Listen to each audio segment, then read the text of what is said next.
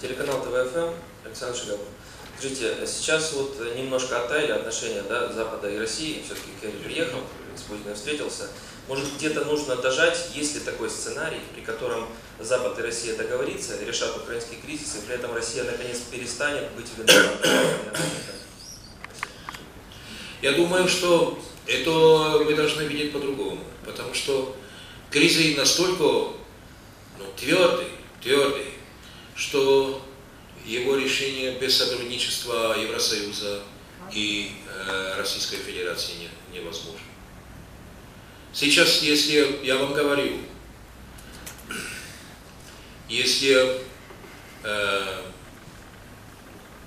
скажем, глубина этого кризиса такая, что практически разрушили эту огромную экономическую силу Украины, но э, мы должны сделать все, чтобы отвратили этот кризис, социальный взрыв. Я опасаюсь того, что будет социальный взрыв. Я опасаюсь этого.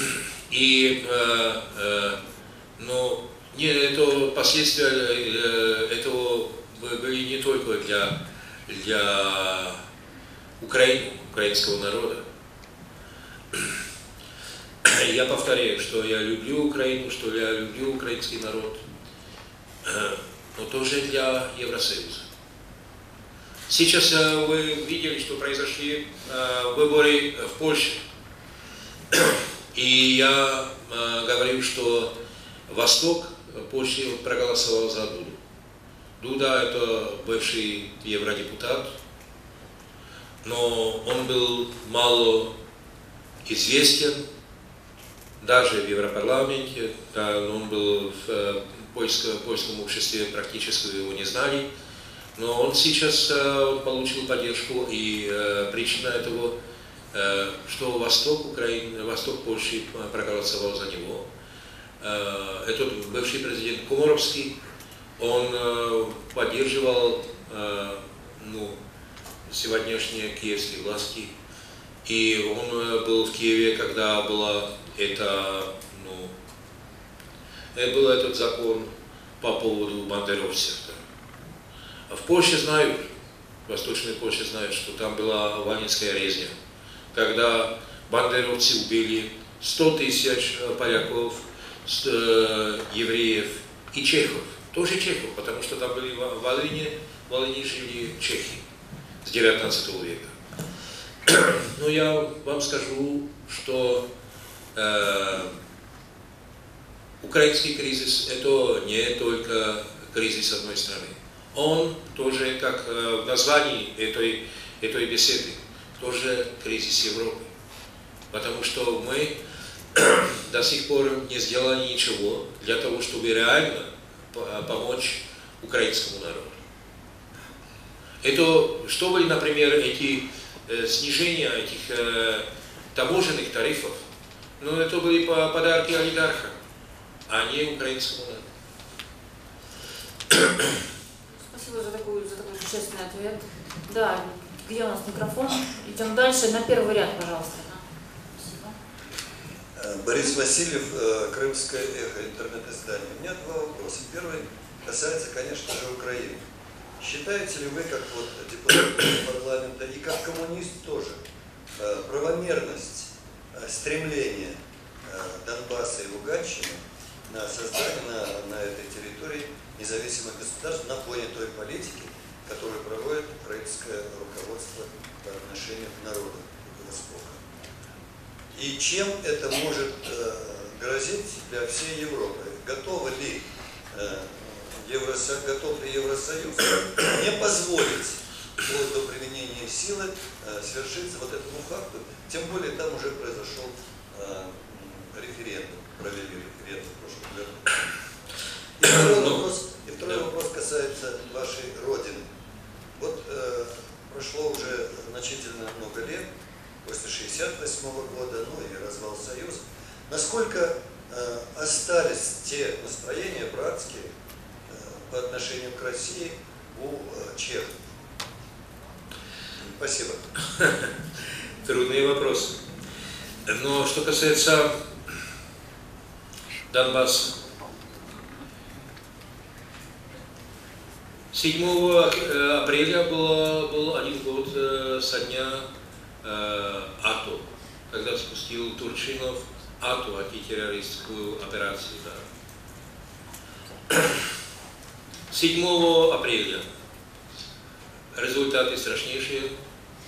Уничтожение этой стратегической области, человеческие жертвы, страдания мирных жителей – и тоже солдат, потому что там я, я видел много разных сведений. Ну, скажу, что, по-моему, два месяца тому назад Порошенко э, сказал, что виноваты в, в том, что вспыхнула эта война на Востоке два человека.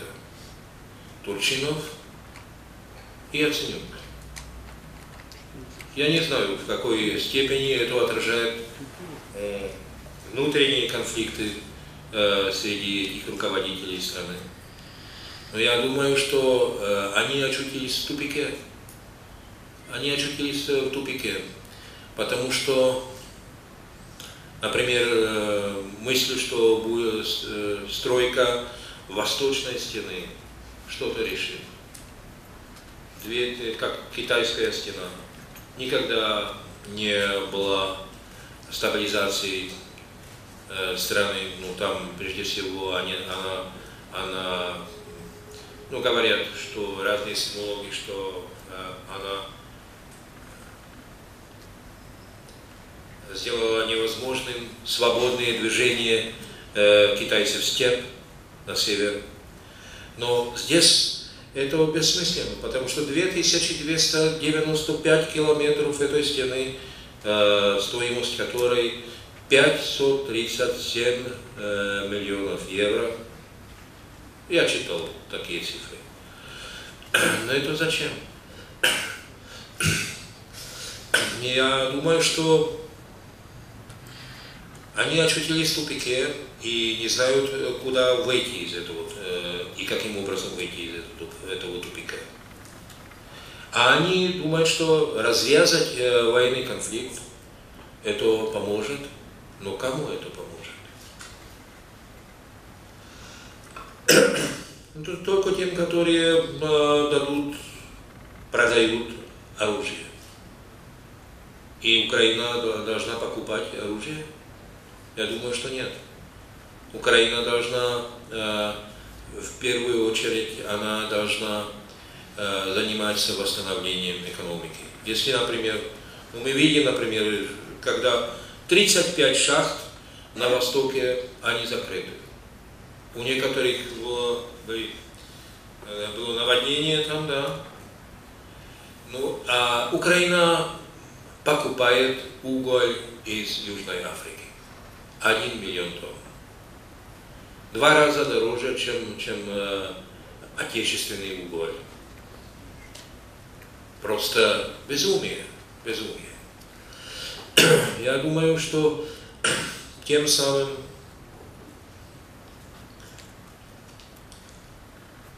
мы должны видеть перспективу решения этого, этого конфликта. Экономическая стабилизация. Экономическая стабилизация страны. Если вы э, э, занимаетесь теми дискуссиями, которые, которые сейчас в экономике Украины, в этой Верховной Раде Украины, но экономика отсутствует. Но есть некоторые положительные изменения. А я, э, чтобы моя, моя речь не была только чернилищем, я вам скажу тоже несколько положительных чертов. Я скажу, что есть по новым законопроектам возможность нового распределения налогов, чтобы часть этих налогов осталась в местах, в регионах, чтобы они могли этим заниматься. Да, тоже есть возможность, чтобы эти муниципалитеты, они создавали структуры э, за конкретными целями экономическими. И чтобы, третья вещь, чтобы могли муниципалитеты заниматься предпринимательской деятельностью. Значит, что, потому что э, многие мои украинские друзья говорят, что, что есть, э, что э, этот э, кабинет Яценюка, правительство Яценюка практически блокирует экономические реформы, что есть тем, тем самым попытка сделать какое-то обновление изнизу. Вы понимаете? Ну, это увидим, как это будет действовать. И это тоже черта, которая должна получить э, поддержку со стороны э, Евросоюза и европейских регионов. Ну, это, я думаю, что это что-то положительное. Я, например, видел, что в таком кривом рогу, в роге, что в кривом роге, что? В кривом роге. Значит, там они мне сказали, что э, там они всегда перевыполняют э, бюджет этого города. Да. А говорили, что 80% практически э, э, бюджета Украины это кривой рог. А им кабинет министров запретил э, располагать этими средствами. А им сделал это многие проблемы, что касается, скажем, обязанностей, которые должен город выполнять. Ну, значит, такие изменения, о которых я говорил сейчас, это они положительные. Ну, но, к сожалению, таких инициатив там очень мало. Там говорят о антикоммунизме, о э, бандеровцах, о, о запрете 9, 9 мая и прочее, прочее. Я думаю, что это, это, э, эти вещи очень важны, что касается обновления Донбасса, обновления Востока, обновления вообще экономики страны. Потому что э, терпит не только Восток, терпит тоже Запад, потому что были 28 января были шахтеры из запада Украины, из Галичины были в, э, в Киеве, а они там, там кричали, что им э, надо возвратить Януковича, Януковича, который обещал, что он будет э, понижать уровень э, налогов, и на деле для э, мелкого бизнеса э, эти, эти налоги возросли на 60% тогда. Критика Януковича была оправдана. Ну, что касается, что касается этого, они кричали, что э, при нем, конечно, были зарплаты. А сейчас? Ну, я говорю, что это, это, этот вопрос очень важен. Ну, что касается этого второго вопроса, э, что я говорил э, о Чехии. ну, я говорю, что сейчас, ну, э, я, мне было тогда 15 лет, когда э, советские войска вторгли в Чехословакию. Для нас было это, был это шок. Потому что большинство народа поддерживало тогда этот реформный курс. Большинство народа. Поддержка компании тогда была колоссальной.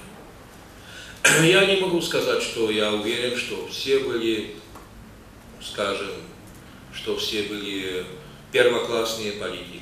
Но доверие было, поддержка народа была. Тогда я, тогда что случилось? я навсегда э, я взял, взял урок, что военными средствами, это касается тоже Украины, военными средствами политические проблемы решить невозможно. Тогда я скажу, после этого э, пришла эпоха консолидации, так называемой нормализации, э, 400 тысяч, 80 тысяч людей выбросили из компартии. 400 тысяч, из этих 480 тысяч было из чешских регионов. Это повредило, тоже это акция повредила единству коммунистического движения. Ну и, конечно, это был удар этим хорошим отношениям, которые были между Советским Союзом и Чехословакией. И сейчас, слава Богу, это уже не играет настолько сильную роль. И той пропаганде, и той пропаганде, которая использует 68 до сих пор, и той официальной пропаганде, которая описывает Россию как угрозу для безопасности Европы, никто не верит. Если сейчас кто-то говорит об угрозе со стороны России, ну что сказать? Россия это не Советский Союз. У России нет, конечно, таких возможностей, а, конечно, обстоятельства совсем другое. Я думаю, что что эти, этот, эта картина, которая сейчас в западной прессе, в западных СМИ, она, она, которую повторяют чешские СМИ, она не действует, не действует. А интересно было, что уже не действовала эта пропаганда в случае Югославии, когда была война в Югославии, бомбили Сербию, бомбили Белград, значит, в таком случае эта пропаганда не действовала. Тоже. Это надежда какая-то, что, что ну, есть шанс для критического мышления. Тем самым я не говорю, что Россия всегда права. Я не говорю, что, что я сторонник Путина. Я не говорю это. Но я думаю, что мы должны учи, учитывать факты. Факты. А в таком случае я говорю, что такой угрозы нет. А, ну, уже знаете, что очутились, что мы нашли в этих таких, таких последних оценках общественного мнения, дискуссиях, которые на сайтах. Сайты это, это интернет это огромная сила, конечно. Что люди видят более сильную угрозу в США, чем в России. Этого не было. Этого не было. Значит, это э, получилось только в последние э, времена. Потому что была огромная симпатия к странам Запада с начала этих изменений. Ну и сейчас все это ломается. И идет возвращение домашних ценностей, а, ну, конечно, э, наши люди возвращаются к чешским фильмам, чешским книгам, чешской культуре.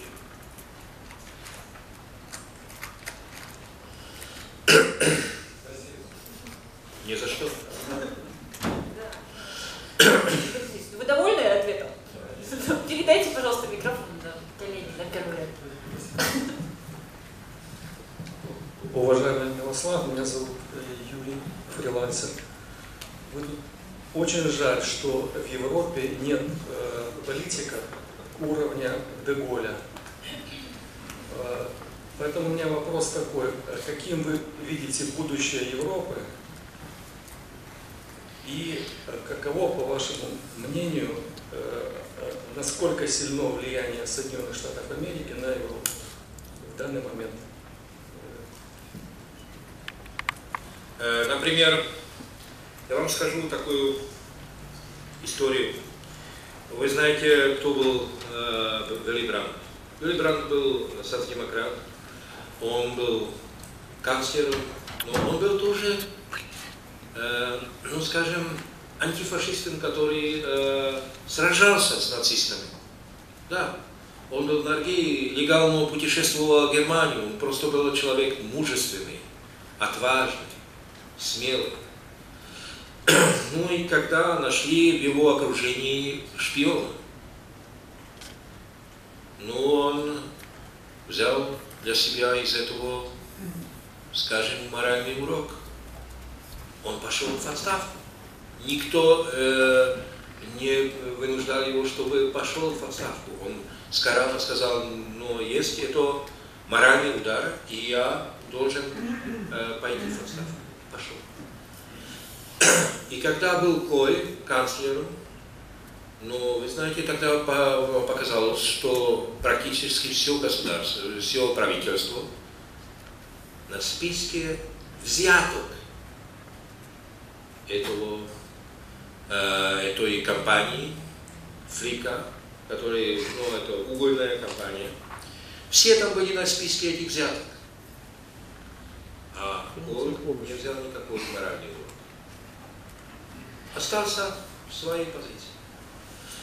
И немцы говорят, ну что сейчас это то же самое.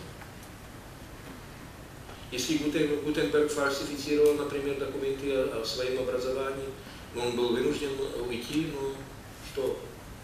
Это ничего по сравнению с Русским. Я скажу в Италии, но Берлускони, это, это смешно просто. И э, если, например, мы сейчас возьмем э, развитие в этой, этих южноевропейских странах, но вы знаете, когда было в свое время говорили, что Аснар и Сапатеро, он был социалист, а это было из Народной партии э, Аснар, они говорили, что три столбы новой рыночной экономики туризм, услуги и строительство. Все во время кризиса, кризиса пало, потому что показалось, что важно, какая структура экономики.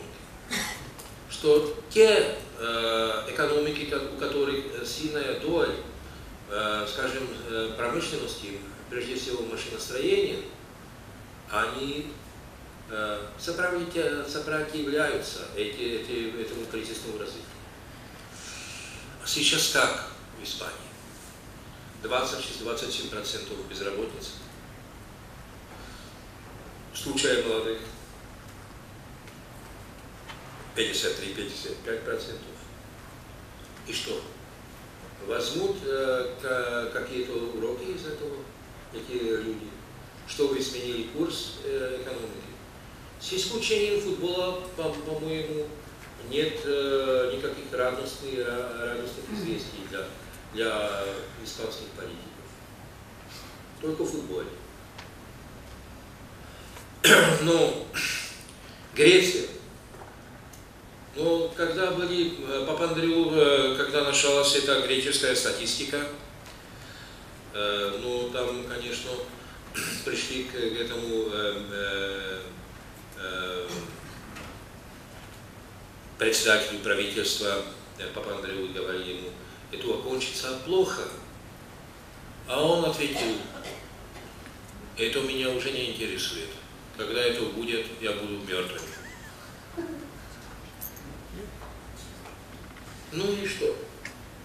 Сейчас показалось, что важно, какая структура экономики доля промышленности и сельского хозяйства в валовом национальном продукте Греции 19% только. 19%. Э, с услугами и туризмом невозможно выжить, это ясно. Инфраструктура плохая, уровень образования и подготовки рабочей силы тоже э, плохая. Например, сейчас китайцы взяли под себя половину этого порта Пиревс, и они э, в течение одной минуты разгрузывают 6 контейнеров. И это шок для э, греков, потому что там не было такой организации труда.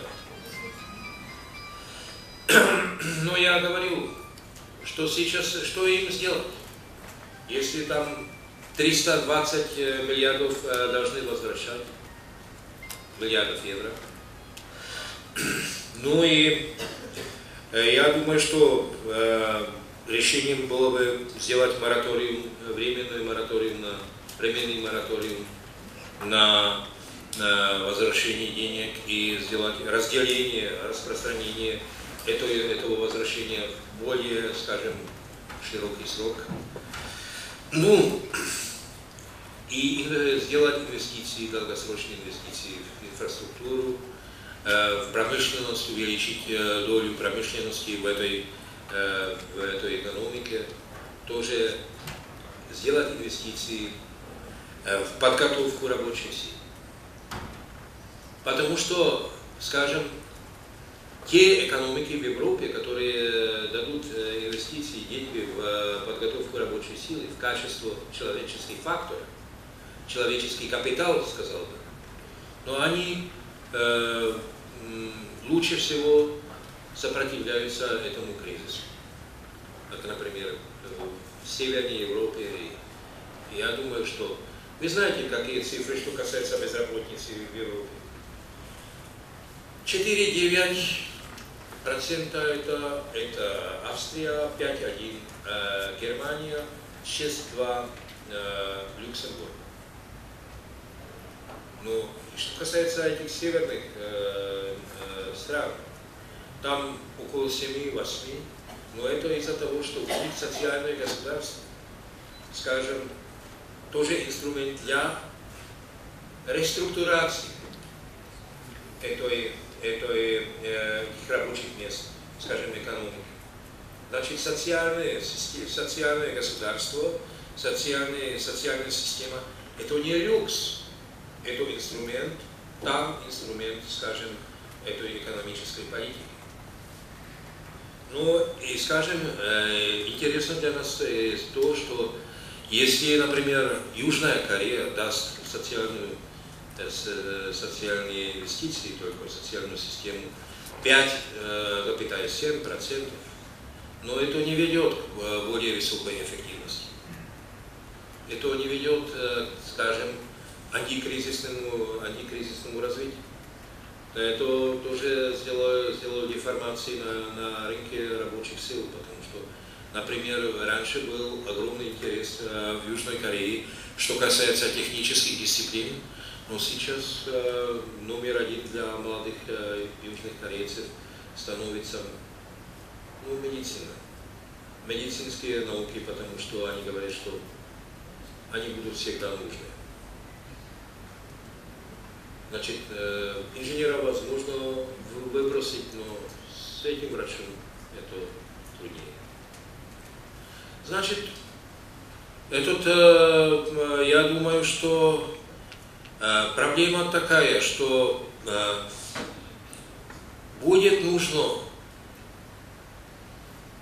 найти лидеров, у которых есть политическая ну, сказал бы, философия. А это не точно, просто что-то такое. А таких э, в странах Западной Европы нет. Э, наши, например, в Чехии политики, это просто смешно. Вы имеете в виду уровня Владимира Владимировича Путина? Таких лидеров нет. Э, ну, не любите.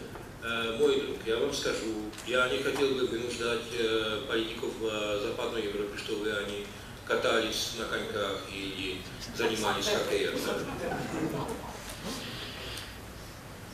Ну, конечно... Я имел в виду уровня Деголя. Деголя. Вы почему-то про него ничего не сказали.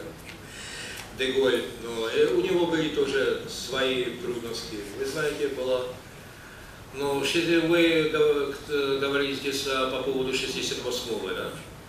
Но в 1968 году это был закат его власти, конечно. Он был тогда, ну, он э, встречался с китайцами, он встречался был в Румынии тогда, э, где, где э, с ними э, вел переговоры.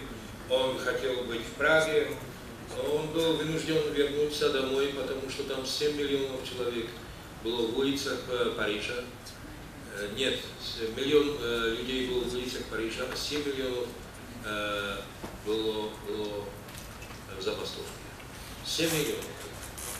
Но это был, конечно, кризис режима, потому что они говорили люди тогда, а это интересно. этот не, не хватит только высокие зарплаты.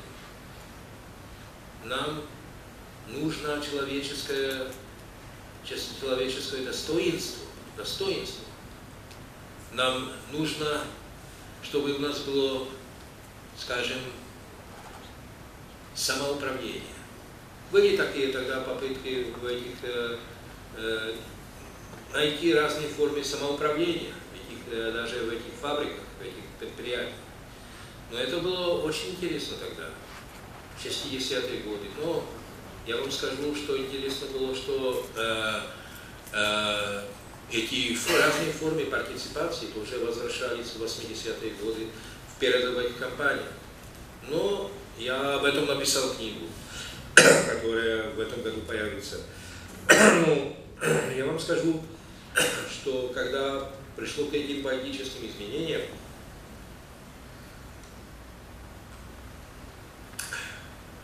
когда ну, пока думали, что это триумф капитализма, даже эти передовые, передовые компании об этих формах э, партиципации, они забыли.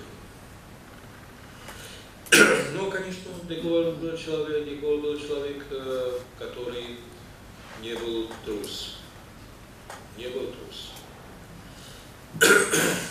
И основной его поступок это, конечно же, э, обмен долларов на требования поставки золота. Да, это было тогда, ну, это был конец этой э, системы Бреттон-Вудс. Бреттон-Вудс, э, когда, которая была основана на том, что после Второй мировой войны, вы знаете, какая была доля американской промышленности на, в мире? 60%. Она тогда, они тогда гарантировали, чтобы был доллар э, этой мировой валютой, которая сменялась за золото. Ну, это, это окончилось. Но вы знаете, я вам скажу такую э, э, вещь, штуку, которая, возможно, интересна, потому что э, когда это уже кончалось, э, в 70-е годы просто был конец этого, этой системы Бреттон-Вудс, и один из людей, которые боролись против э, этой системы Бреттон-Вудс и попыток э, сохранить ее и э, остатки его, этой, этой системы, но э, был Пол Волкер. Волкер, Волкер был, э, ну, во время Рейгана он был, был шефом Феда, да? Вы помните. И Локер тогда сказал Ворвике на университете Ворвик в Великобритании, что э, перед э, США выбор или э, помогать стабилизации мировой финансовой системы, или сохранить свободу национального действия, что правильно США выбрали вторую возможность, и что сейчас э, задача 80-х годов какая? Ну, систематически разрушать стабильность мировой экономической системы. Да, и этим путем они идут сейчас. Они, э, э, и они экспортируют хаос э, и нестабильность по всему миру. Тем самым, э, чтобы сохранить э, свое влияние и э, свой статус. Это было, я точно не помню год, когда сказал это на этом университете Борвик Волкер, но это высказание, которое инспиративное. Так, давайте предлагаю, предлагаю чередовать с записками прекрасная есть записка от коммуниста к коммунисту. Господин Рамсдок, выйти, э, вы не можете выйти с предложением Европейский парламент о санкциях в отношении руководства Украины. Окажите помощь существенную, окажите существенную помощь народу Украины. Я против э, всяких санкций. Я против всяких санкций, потому что, конечно, эти санкции обращаются прежде всего для простых, нормальных жителей Я это увидел, конечно, в случае Ирака, где, где ну, этим потерпели все, прежде всего, нормальные, обычные люди. Но что касается помощи Украине, с этим обращаюсь все время, что э, мы должны найти программы, которые бы, бы помогли эффективно э, восстановлению экономической жизни в Украине. Я думаю, что это нужно, что это э, не только э, в интересе народа Украины, я думаю, что это в интересе тоже соседов и всей Европы. Но проблема такая, что не знают, не знают, какая, какая реальная обстановка в этой стране. Не знают. Не сказал, например, один из комиссаров, который был с госпожой Эштон, был э, в Киеве в свое время, когда был Янукович уже короткое время власти. Ну и там он сказал, госпожа Эштон, в нашей стране столько воровали.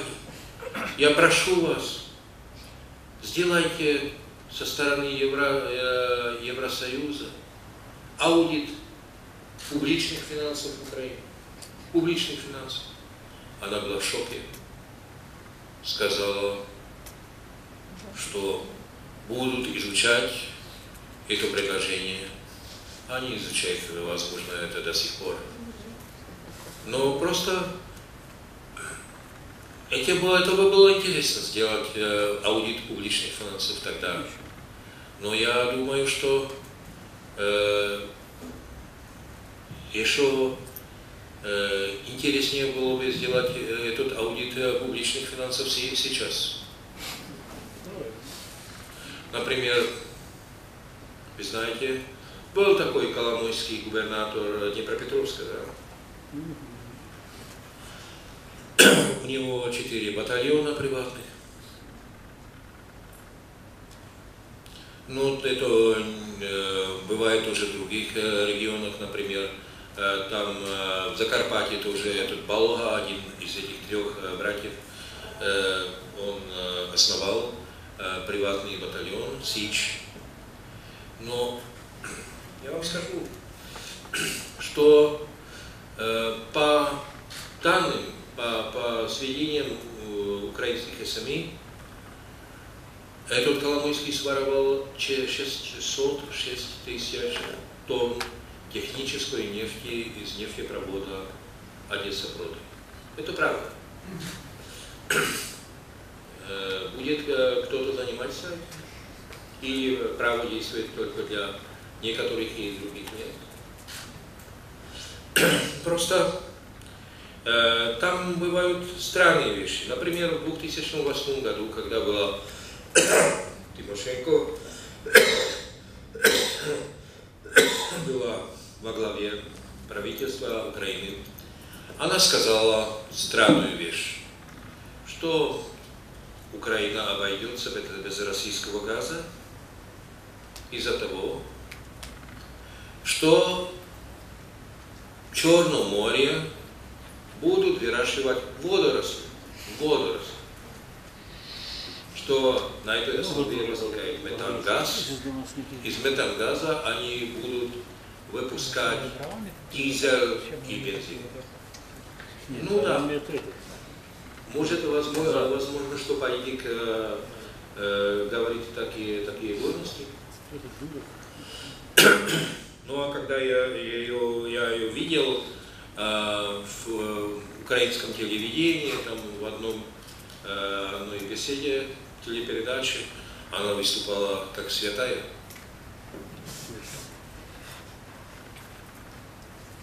Как конечно, она говорит, как живет скромно, с, в двухкомнатной квартире со своей матерью в Днепропетровске. Ну так был Днепропетровск. Чего ж не поверили? Да, пожалуйста, вопрос у нас э, со второго ряда. Где микрофон? Да. Добрый день.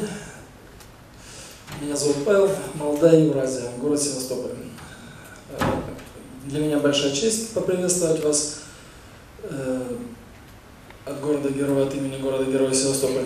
Но хотелось бы вернуться к нашей теме и такой вот вопрос. Вы как представитель Европарламента, э, мы как бы все тут собравшиеся прекрасно знаем официальную точку Европарламента. Э, но хотелось бы от вас узнать, что говорят в колуарах. Есть ли понимание, есть ли понимание э, в частных разговорах того, что происходит в Европе, что нынешняя политика, она приведет, как вы пишете в релизе, только к огромной войне. Э, есть ли понимание, что необходимо э, менять вектор внешнеполитический на евразийскую интеграцию, может быть, то есть на стратегическое партнерство с Россией и со странами Евроазиатского союза? Вот такой вот вопрос. Есть ли понимание вот у людей? Понятно, что когда они говорят официальную точку зрения, она ну, заангажирована, то есть она, она диктована с третьей стороны, скажем так. А вот люди сами, ну, я не, не поверю, что э, там люди, которые не учили историю, которые не знают, к чему приводили каждый раз, каждый раз такие шаги, которые сейчас делаются. Вот такой вот вопрос. Спасибо. Ну, что касается, вы, вы имеете в виду санкции прежде всего. Но что касается санкций, я думаю, что они официально не будут э, сняты, но не уберут их, но думаю, что они потихонечку уйдут. Потихонечку уйдут, потому что это бесполезно. И, например, Германия, объем э, экспорта Германии в э, Российскую Федерацию до 30 до 40 миллиардов, э, миллиардов евро. Весь объем экспорта Евросоюза, стран Евросоюза в Российскую Федерацию 120 миллиардов, значит это очень много. И хочу сказать, что некоторые меры, которые занимаются европолитикой, они ну, контрпродуктивные. Например, что касается этих квот для беженцев из африканских стран. Но это они объявили, что хотят, чтобы европейские страны взяли на себя 20 тысяч беженцев, и что будет квотация для этих отдельных, отдельных стран. Я вам скажу, это безумие, потому что по некоторым оценкам 100 миллионов людей в Северной Африке хотели бы переместиться в Европу. 100 миллионов. Нам сделать то, чтобы стабилизировать эти страны. 50 стран африканского континента, континента сейчас в банкротском состоянии. 50. Там запасы этих продуктов питания ниже э, того времени, когда были эти э, колонизаторы, там, там французы, португальцы, великобританцы, там, ниже этих запасов э, средств питания сейчас э, э, уровень. Я думаю, что это очень важно. И э, что эти договоры из Котону, которые занимались этой стабилизации ситуации, планировали стабилизировать эту ситуацию в африканских государств, они не выполняются. А зачем, например, Чехия должна была бы взять себе какую-то квоту беженцев, наши жители против, резко против, из-за того, что кто-то бомбил Ливию и Сирию, и Ирак, и дестабилизировал ситуацию в этих странах. Но я думаю, что э, э, это не оправдано, потому что мы никогда у нас не было колоний. Даже если после Первой мировой войны возникла Чехословакия, предлагаю министру иностранных дел Пейнашу, который позже стал президентом, чтобы мы взяли под себя немецкую колонию Того. А он сказал, нет, мы никогда не хотим стать колониальной державой. Никогда. Но взяли под себя только французы. Но я думаю, что э, второй вопрос – это, это сотрудничество, стратегическое сотрудничество между Евросоюзом и и э, Российской Федерации. Ну, сейчас, сейчас этой резолюции э, Европарламента э, там текст э, э против этого сотрудничества, но это, конечно, э, не облигаторный документ. И скажу, что я думаю, что в Мюнхене предлагал в свое время Путин, Путин предлагал э, единое гуманитарное экономическое пространство с Лиссабона до Владивостока. Это мысль интересная, плодотворная, вопреки тому, что надо было преодолеть много-много разных проблем. Но конфликт сейчас, который идет на украинской земле, он вел забвение этот проект. А это тоже э, два, э, значит, два конкурентных э, подходов. Сейчас э, этот проект э, этого пространства, гуманитарного экономического пространства, а с другой стороны TTIP. Значит, это этот договор, проект договора, договора э, трансатлантического по торговле и инвестициям, между Евросоюзом и США. Но это идет, э, друзья, дорогие друзья, в секретном режиме. Даже я, как депутат, должен подписать, э, что я э, буду молчать об этих документах, что я должен отдать мобилку, свою мобилку там, перед вступлением в эту специальную комнату, где я буду изучать эти документы. Просто это странно. В демократическом режиме это странно. Но э, и тоже некоторые, скажем, фактические вещи, что касается, например, финансовых услуг и э, либерализации этих продуктов. Просто я думаю, что э, я скажу такую одну вещь, что касается продуктов питания, там либерализация этих продуктов, это очень важная часть. Но подход, который в Европе, и подход, который в США, он отличается радикально. Потому что в Европе мы следим за всеми этапами этого процесса. Значит, farm to fork – значит, э, от самой сельскохозяйственной продукции в этих фермах до, ну скажем, до, до э, потребления. Да. Но в США это по-другому. В США там ну, следят только за чистотой этого финального продукта. Этого продукта сделают стерилизацию, сделают уничтожение этих, э, скажем, этих э, микроорганизмов там, и все. Занимается только этим финальным продуктом. Ну, это радикальное различие, да? И что касается подхода к этому, этому рынку. Я, я думаю, что э, эта мысль, скажем, стратегического партнерства, не, не э, мертвое дело. Я думаю, что будет пора возвратиться к этому. Но даже США сейчас пишут разные, разные вот такой политолог Браун написал в э, журнале The Patriot, э, что это, это твердая американская политика против России, она, конечно, э, бесполезная, потому что она в конце ведет к сближению России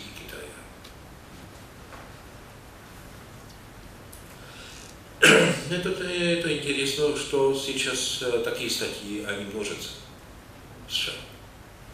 Это э, нужно видеть, что там есть разные, конечно, разные э, э, взгляды.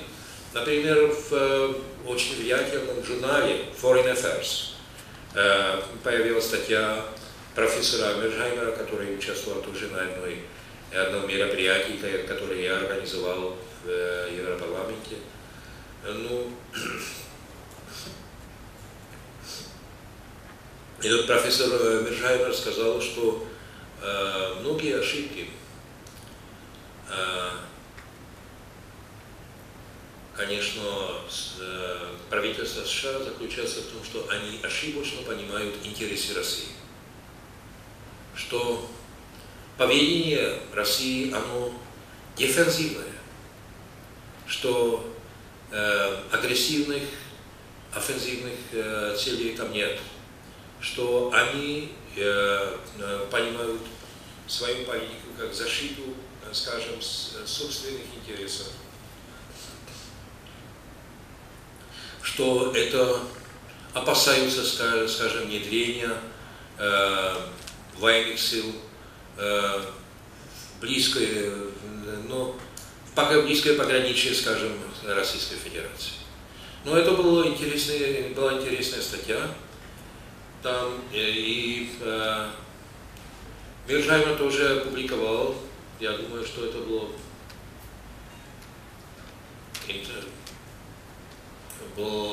International New York Times, New York Times он опубликовал статью, где он выступал против того, чтобы Запад э, давал оружие Украине.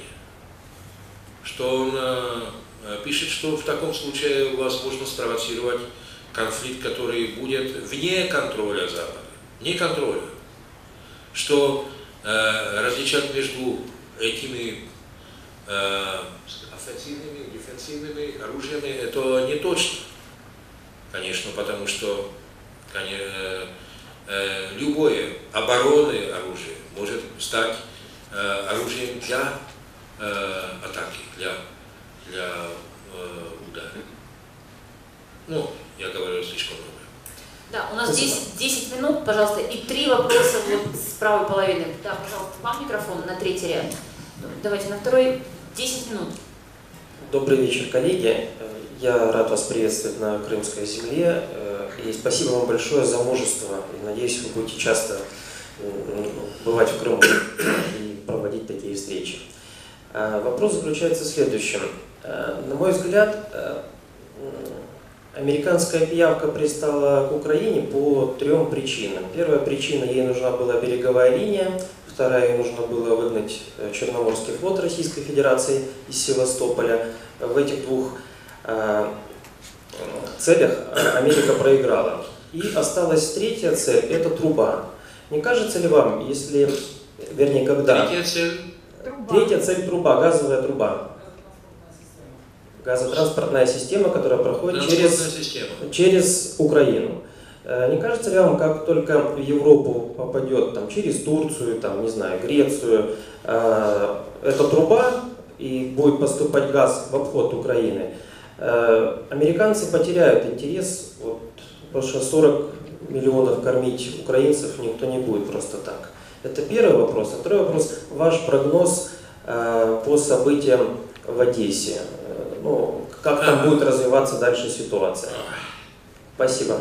Ну, э, что касается транспорта, да, э, ну, потребление Европы, что касается газа, 541 э, миллиардов кубометров газа. Конечно, из России идет 162 миллиардов кубометров газа, и половина 81,5 или 4, я не знаю точно, э, миллиардов через территорию Украины. Значит, это меньше, чем поставки газа из Норвегии, да? Вы понимаете. Но э, я думаю, что э, этот, это, этот путь становится сейчас под, под угрозой. Но Южный поток, э, он его, э, по-моему, не будет. Э, принудили Болгарию, чтобы ушла от этого. ну, будет, возможно, турецкий поток. Сейчас уже видим, что на территории Сербии сидит «Газпром». В городе Ниш, в Южной Сербии, и сделали тоже совместное предприятие «Ниш», которое занимается этим предпринимательским делом. И я хочу сказать, что они э, думают, что уже в 2019 году было бы возможно транспортировать первые объемы э, э, этого газа через территорию, через территорию балканских стран, э, Турции, Греции, Сербии, Македонии, там, там в Австрии. Ну, некоторые люди думают, что это не столько простое дело, потому что, например, э, э, эти договоры, которые касаются э, этого, это, этого нефтепровода и газопровода «Дружба», но они, конечно, долгосрочные, что это изменить не, не так простое дело. Но все-таки что, касается этого «Газпрома», он сидит сейчас в Сербии там занимается подготовкой этих, э, этих структур. Но это бы был огромный удар для нас всех, потому что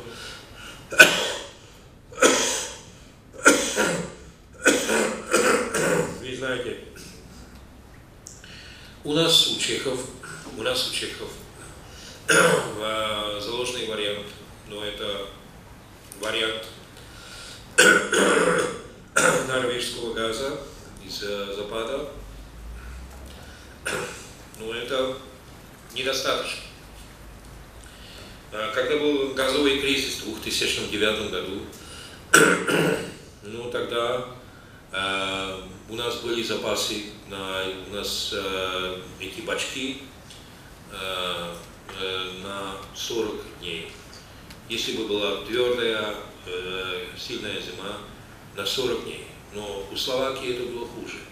Мы даже были вынуждены э, дать э, ну, э, возможность использования возможность использования наших структур словакам, потому что там э, они бы выдерживали только 8 дней. Ну, это первое. Второе, что, конечно, проблема газа. Это не только эти, скажем, эти запасные бачки, скажем, ну, структуры, структуры этого обеспечения запасов, но тоже ну, интерконнективити, значит, взаимосвязанность этих, этих дорог, путей, путей транспорта.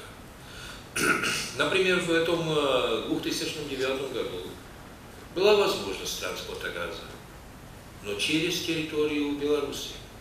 Но там не было э, связи Значит, э, это проблема, это проблема сложная. Что касается Украины еще. Э, в Польше, например, хотели, чтобы э, построили, они хотят построить атомную электростанцию там, в этой Балтской области, а хотят еще две электростанции на основе угля потому что запасы угля, подобно как, как э, на украинской земле в Польше огромные, это 400 лет примерно. ну, они хотели дать э, в капремонт 43-45% всех э, этих электростанций на этой, скажем, угольной основе. И рассчитывали, что будут брать ток из Украины но Украине сейчас тока не хватает, потому что там были запасы угля, когда была последняя зима, на три дня нормально бывает, чтобы то запасы угля в этих электростанциях на три месяца. Использовали уголь, который не годится для этих котлов, потому что там это сложный, сложный, сложный товар. Есть 12 видов, разных видов угля, конечно. Ну и какой пепел, сколько там сыр, сер, серый, серый, да, и, и прочее, прочее. Значит, 12 видов. Ну и сейчас они, они должны были ну, отложить немножко реконструкцию своих, своего потенциала, что касается электростанции. Это трудно. Э, э, тоже эти атомные электростанции. Вы знаете, 48% всей продукции электричества Украины это, это атомные электростанции. Запорожская, между прочим, 6 тысяч мегаватт.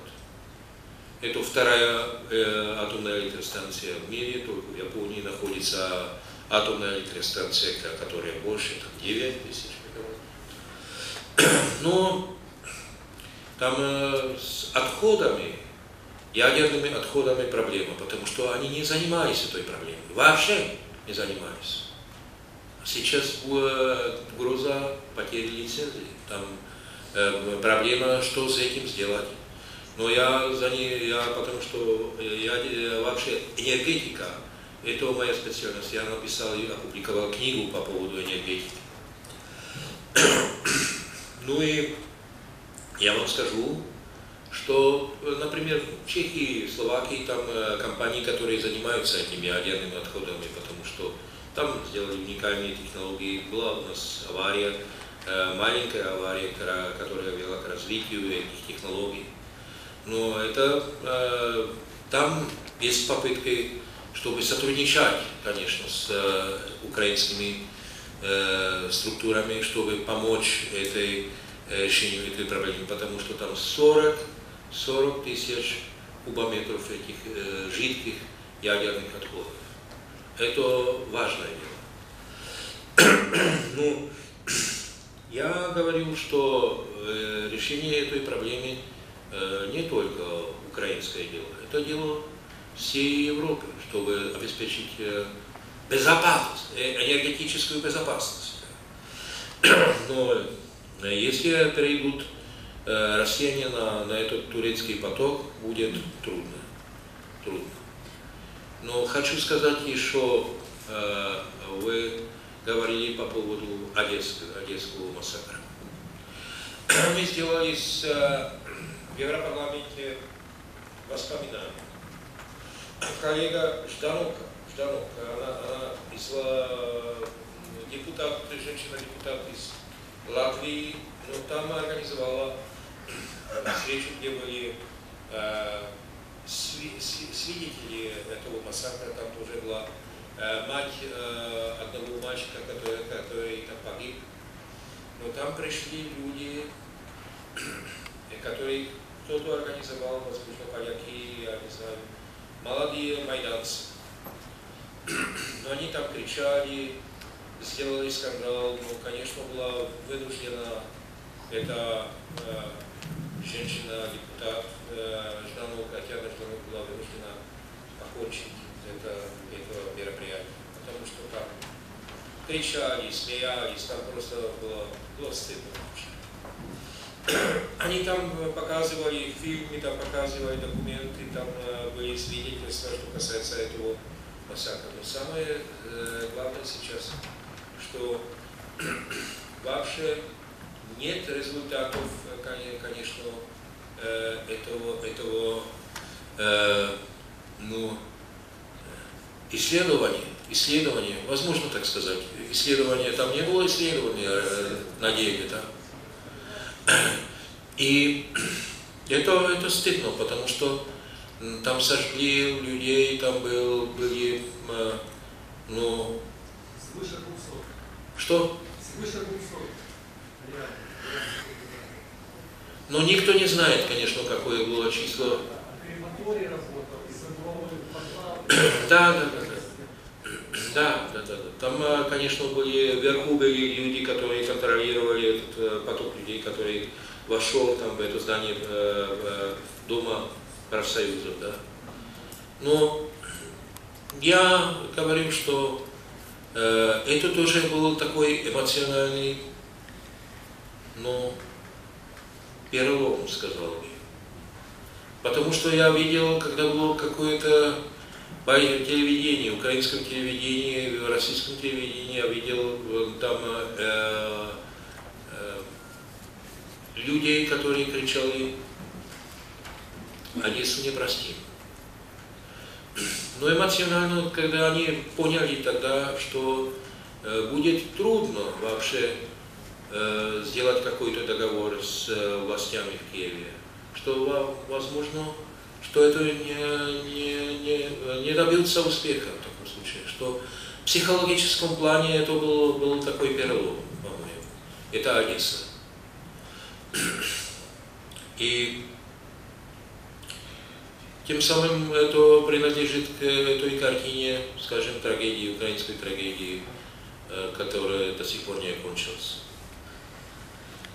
Не хочется на такой печальной ноте заканчивать нашу встречу. Я прошу господина Рансдорфа пожелать что-то крымчанам или несколько своих впечатлений вот, о сегодняшнем дне в Крыму. Да, и поедем на ток-шоу, к сожалению, мы прервемся. Значит, есть, еще есть какой-то вопрос? Долго будет отвечать. Я хотела бы ваши, ваши впечатления или пожелания крымчанам. Ну, Нам всем. Мои впечатления? Да. Но э, я прибыл э, буквально только в час ночи. Да, два часа, два часа ночи. Значит, время еще короче.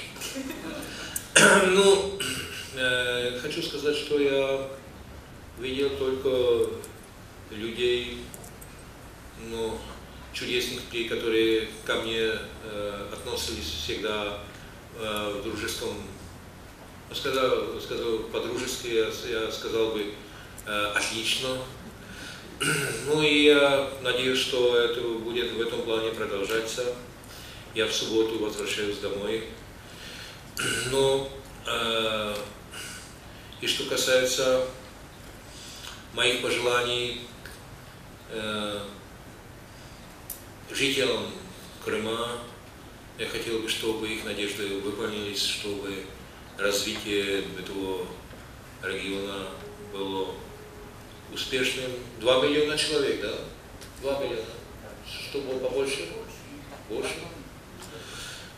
Ну, чтобы это было э, успешное развитие и чтобы уже не было никаких, э, скажем, компликующих действий с любой стороны. Спасибо. Верно.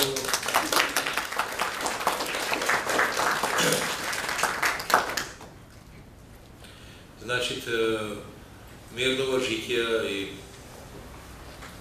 в одной болгарской э, песне, ну там поют на многое лето. Православному народу, болгарскому народу на, многое лето. Значит, э, крымскому народу, любой, любой религии на многое лето. Спасибо Спасибо всем К сожалению, вопросов очень много, записки вообще практически не начинали, но мы вынуждены на ток-шоу откланяться. Спасибо вам. Спасибо. Да, пока мы пока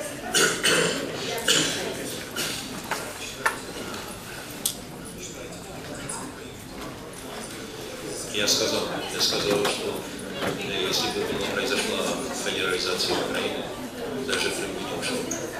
И э, моей оценке, тоже федерализация могла бы помочь и в сегодняшнем состоянии там, Донбасса, э, если это было всерьез, если бы не гарантии, что это всерьез. И что касается